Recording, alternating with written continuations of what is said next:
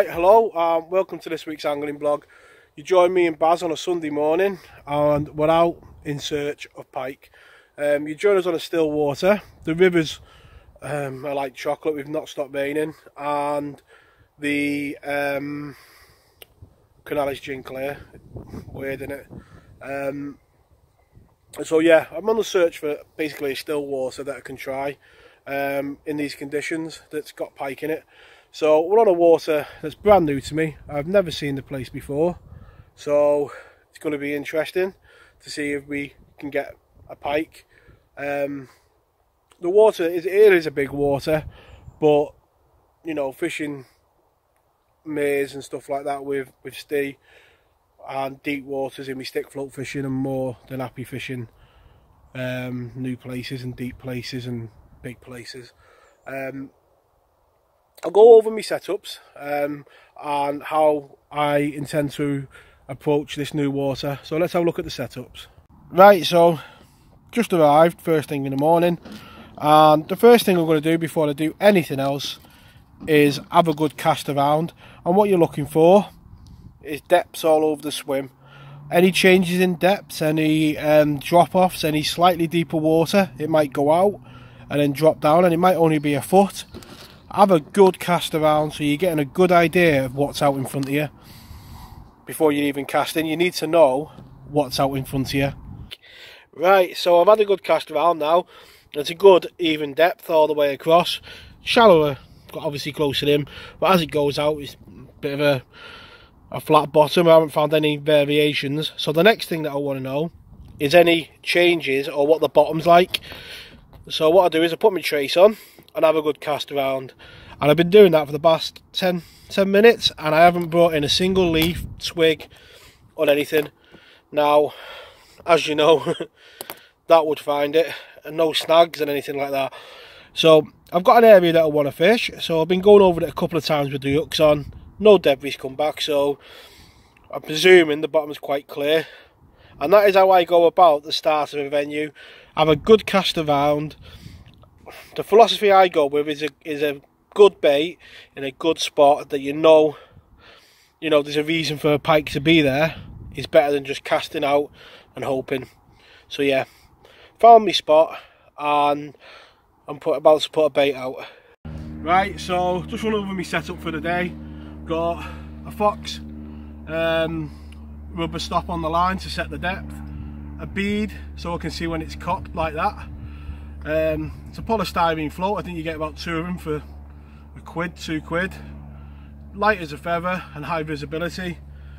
60 pound braid, um, Esox Piker, an 18 gram Fox sinker stubby, a quick change bead and then an 18 inch wire trace as I say on all my videos I'll put a link at the top now to my making a wire trace video. Right so there's the rig in its entirety.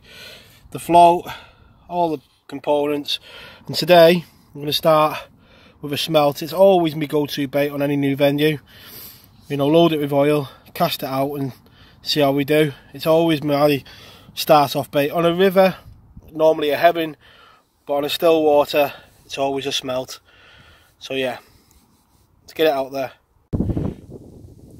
Right, so the rods are out. Um, I've got a smelt against that reed line there, just off it, hoping that anything patrolling along there. Baz has got his, find it, another uh, smelt fished out right in front and the third rod is a sardine and that's on the ledger just out into open water so yeah fingers crossed there is pike in here and we can at least you know get a run would be a start so at the start when you're you know like plumbing up without a trace on you get the general depth and then if you put a trace on and, and nothing's coming back that's one sign. But when you're putting baits out like that, which has been out for about an hour on the ledger, and it's coming back completely clear. So yeah, if the bottom was troddy and stuff like that, it'd come back with leaves and all bits of debris on it. But all the baits are coming back clear, so that's another way of working out your water. You find the depths, you're looking for any changes in depth, is always a good place to start.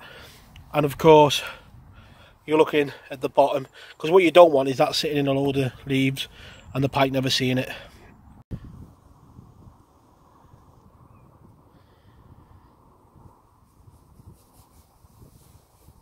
So, just making the changes. I've had a um, sardine out for a while.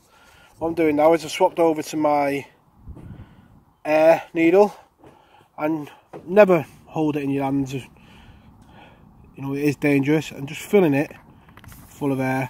And what this will do is the lamprey will get me extra distance to try water that I've not tried and we'll have a look at how it's going to sit in the edge. That air putting into it hopefully is going to make it pop up.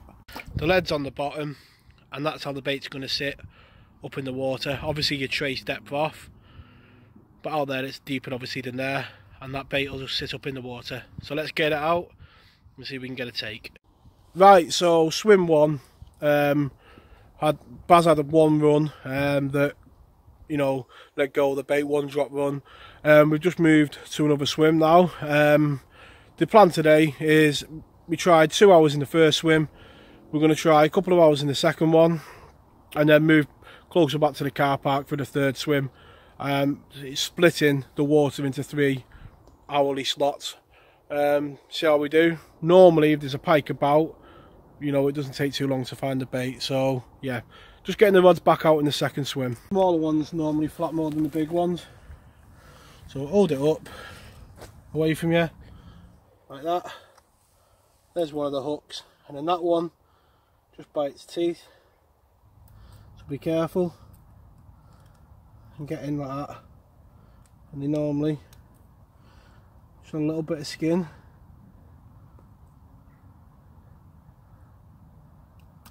There we go. And that's the hook out. Right so first pike of the day on a new venue. Little small jack um, coming on a smelt. You see me just un, un um, unhooking him then. And lovely colours, lovely greens. And I say, if Baz comes in close on top of his head, see all the colours on top of it. A lovely pike, a lovely small little pike. And more than welcome. As I say, working new venues out, always difficult. Um, you've got to put the time in moving round and trying different locations. This is the second swim of the day and it's produced this little small pike. Let's get him back where he belongs, back in the water. Right, so that um, fish has just gone back. Time to get the kettle on. The old pot noodle for me and Baz. We're not eating smelt. get the kettle on. And the good thing, if you forget your spoon or your fork like I have today, you can always drink it. Lifesaver. so plenty of cloud cover on a venue like this isn't a bad thing. As I say, overcast day. For the venue that's four to five foot deep and relatively clear, it's the type of thing you want. You don't want a bright, clear day. Never good piking conditions, but overcast like that, fantastic. Right, and another thing, like obviously, when learning a new water, is do it dawn till till dusk. Um, as you can see, the wind's gone off it a bit now, and you're starting to see fish topping in the area, you know, around the area, and bubbles coming up for feeding fish. So, you know, gives you an idea of where the fish are, you know, for next time you come. Because in winter, they'll generally be in one area. So it's all trying to put their little pieces of the jigsaw together to work a place out. And like I say, if hopefully at the end of it, you can you know, come on the venue next time and have a better idea where to set up.